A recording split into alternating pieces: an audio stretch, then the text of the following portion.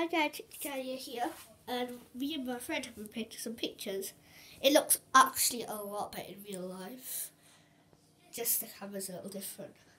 This one's mine. It's going to be the background for Elsie Spirit.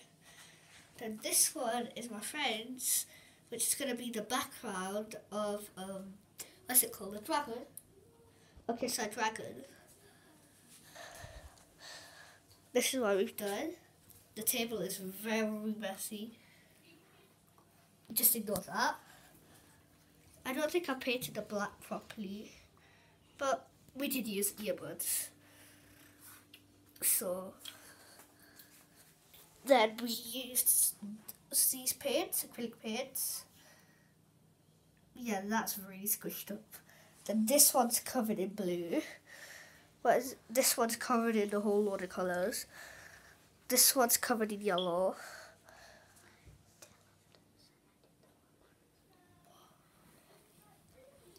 So we'll show you the colours if you want to read them. Dark blue.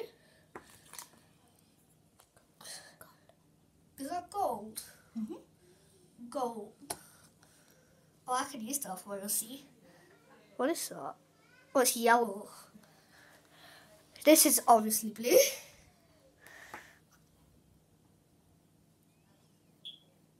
This is blue.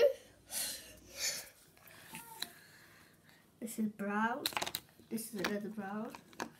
This is white. So I'll tell you how we're going to do this. I know you're probably thinking like, but you've already done the background, it's too dark. Well, actually, we're going to use pencil because pencil's metallic on paint. And then after we've done the pencil, we're going to get the white paint and we're going to colour it on and then we're going to draw on top of the white paint when it's dries. Mm -hmm.